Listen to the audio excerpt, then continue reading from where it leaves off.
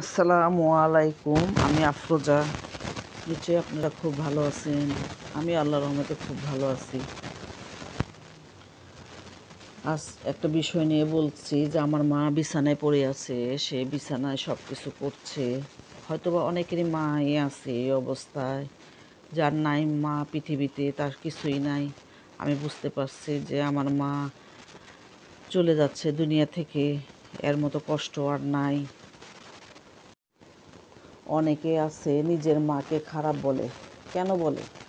কারণ তার কাছে কোনো সন্তানের আচরণ তার কাছে ভালো লাগে মানে মায়ের কাছেই ভালো লাগে, তখন তাকে বেশি দেয়। এটা মায়ের নিজস্ব ব্যাপার। আমরা যারা নিজের আপন মাকে খারাপ বলি, তারা নিজেরাই খারাপ। খালি সে নিজেকে চিনে। মা কখনো খারাপ হতে পারে না। কিছু কিছু নারী খারাপ হতে পারে। মা কখনো খারাপ হতে পারে না। একটা মা পাঁচটা সন্তানের যত্ন নিতে পারে। পাঁচটা সন্তান একটা মায়ের যত্ন নিতে পারে না। খুবই দুঃখের বিষয়, খুবই কষ্টের বিষয়। আমরা কেমন সন্তান? আমার মা বিছানায় পড়ে আছে, তাকে সব করিয়ে দিতে হয়। সে কখনো চায় নাই অন্যের উপর নির্ভরশীল হবে। কিন্তু তাকে হতে হচ্ছে। কোনো মানুষই আসলে, কোনো মানুষই অন্যের উপর নির্ভর হতে চায় না। কিন্তু দুঃখের বিষয় হতে হচ্ছে। বর্তমানে কিন্তু এটা বেশি হচ্ছে।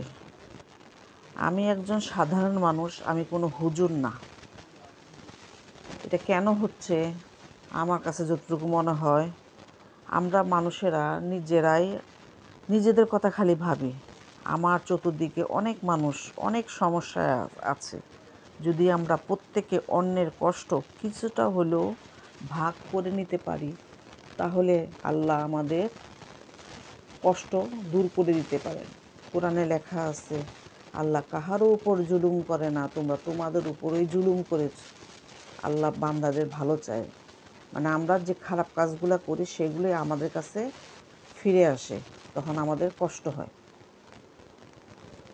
আমরা মারা, সন্তানদের ফার্মের মুরগির মতো করে মানুষ করি।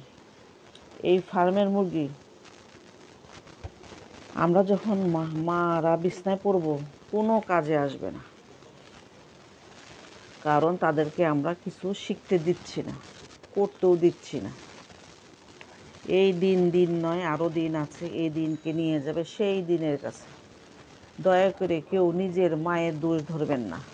নিজেরা কিছু করেন। মাকে বলেন, মা, আপনি একটু বসে আমি করি। আমাকে শিখতে দেন। আমাকে সেবা করতে দেন। আমরা খালি আছি ফেসবুকে মা দিবস পালন করি। মানে লোকে দেখবে, আহারে, মায়ের প্রতি কত দরদ। লোক দেখানো চলছে। কিন্তু মাকে এক গ্লাস পানি এনে দেয় না। মা, আপনার মনটা কি খারাপ সেটাও বলি না। করতে হবে, না করলে আমাদের সামনে আরও অনেক কষ্ট। যদি কষ্ট থেকে আমরা মুক্তি পেতে চাই, তাহলে আমাদের করতে হবে, কাজ করতেই হবে। নিজেকেও করতে হবে, নিজেদের সন্তানকেও শিক্ষা দিতে হবে। মা দিবস প্রতিদিনই। বছরে একবার মা দিবস না। আমার ভুল ত্রুটি হয়ে গেলে মাফ করে দিবেন। আমার ভিডিওটা টেনে দেখবেন না। আমার ভিডিওটা শেয়ার করবেন। আমার সাথেই থাকুন। আল্লাহ হাফেজ।